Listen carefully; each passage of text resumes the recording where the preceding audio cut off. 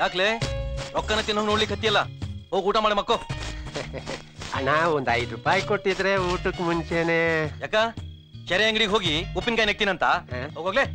ಹೋಗೋಗ್ಲೆ ಹೋಗ ವೀರಣ್ಣ?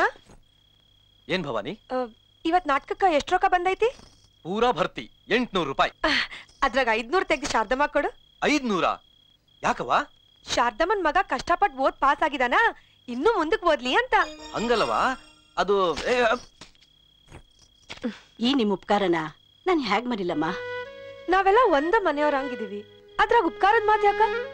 ಎಷ್ಟ್ ದಿವ್ಸ ಅಂತ ಇವನು ನಮ್ ಕೂಡ ನಾಟಕದ ಪದ ಹೇಳ್ಕೊಡ್ತಿರ್ತಾನ. ಜಾಸ್ತಿ ಓದಿ ವಿದ್ಯಾವಂತ ಆದ್ರ ನಮಗ ಹೆಮ್ಮೆ ಅಲ್ಲ? ನಮಸ್ಕಾರ ಅಮ್ಮ ಬರ್ತೀವಿ. ಹೋಗ್ ಬರ್ರಿ. ಹಿಂಗ ದಾನ ಮಾಡಕ್ ಶುರು ಮಾಡಿದ್ರ ಅಷ್ಟ. ಹ, ಆ, ಹ. ಏನು?